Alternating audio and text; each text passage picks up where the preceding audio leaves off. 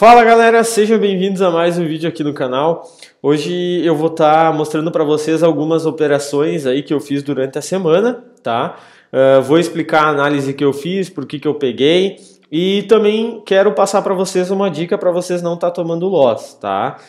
E galera, já chega deixando o like aí no vídeo, tá? Já se inscreve aí no canal para não perder nenhum vídeo. Se você gostar do vídeo, deixa aí nos comentários o que você gostou, o que você não gostou, tá? E vamos lá então que eu vou passar isso para vocês agora.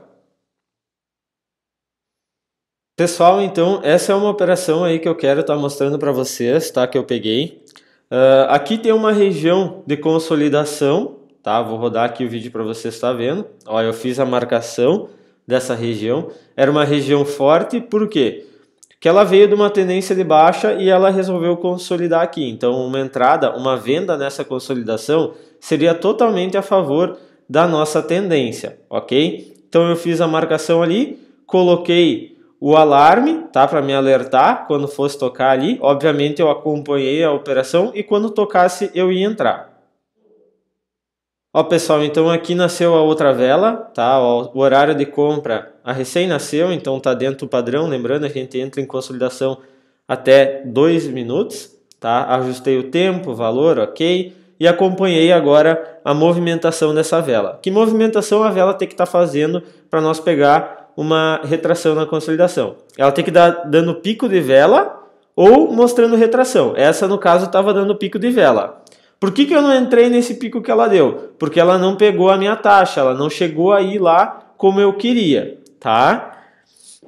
Vamos acompanhar aí essa, essa vela. Ó, agora ela deu o pico. Por que, que eu não peguei? Eu fiquei com um pouco de dúvida. Ah, será que pego? Será que não pego? Fiquei com dúvida de, sobre a força da região. Né? Esperei ela dar uma retraída, ela não deu coloquei a região mais em cima, aí ela mostrou retração. Então eu vi que essa região ali onde é que ela tocou era forte. Então o que, que eu peguei e fiz? Voltei a minha marcação ali nela e quando fosse tocar com o pico novamente eu entraria tá? Ó, acompanha aí, deu pico, entrei, peguei um pouquinho de delay, não tem problema, mas acabou indo lá na região que eu marquei em cima. Tranquilo, tá? Região forte, deu pico duas vezes, mostrou retração, então dentro do meu operacional e dentro aí do meu gerenciamento, tá? Vamos acompanhar aí como é que vai ir essa operação.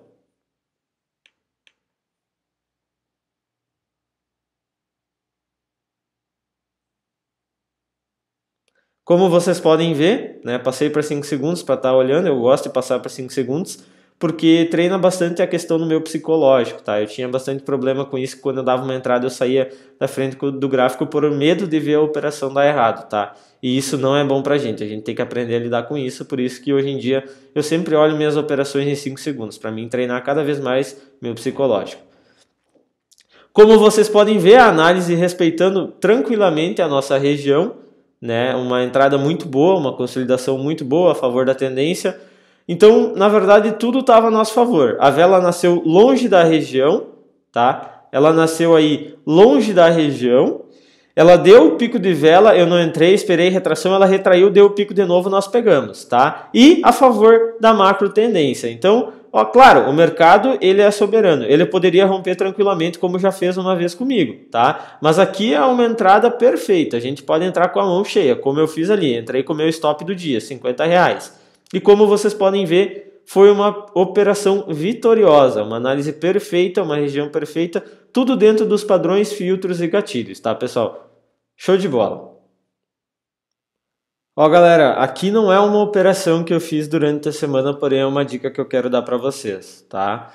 Uh, vocês conseguem identificar que a gente tem uma consolidação aqui, ó, a gente tem uma consolidação tanto em cima como embaixo, porém a de baixo aqui ela é mais forte, tá? Então o que, que aconteceu? A gente tinha uma consolidação, aqui o preço veio, respeitou, fez o rompimento, fez o falso rompimento. O que, que acontece, galera? Em uma consolidação, quando o preço rompe a, a, o suporte da consolidação ou a resistência, ele rompe um dos lados, no caso, e faz o falso rompimento e vai para o outro lado, como fez aqui, que ele rompeu o suporte, fez o falso rompimento e ele foi lá na resistência, a gente não pega na resistência. Por quê?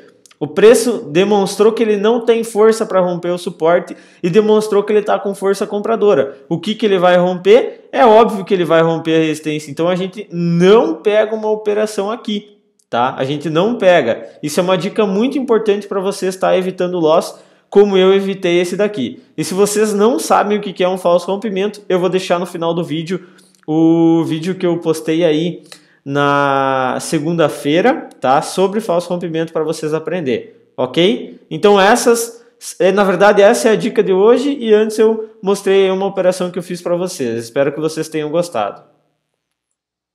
Pessoal, então esse foi o vídeo de hoje, tá? Eu espero que vocês tenham gostado aí das dicas que eu passei para vocês, tá? Utilizando no dia a dia de vocês de operações.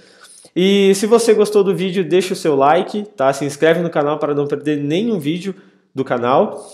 E deixe os seus comentários, né? Se, o que você gostou, se você ficou com alguma dúvida. Eu vou deixar também aqui na descrição do vídeo o meu canal do Instagram e o meu grupo do Telegram, tá? Eu posto dicas de operações, eu posto também conteúdo, posto as operações que eu faço no dia a dia para você estar acompanhando, tá? Então, o vídeo de hoje era isso e até uma próxima.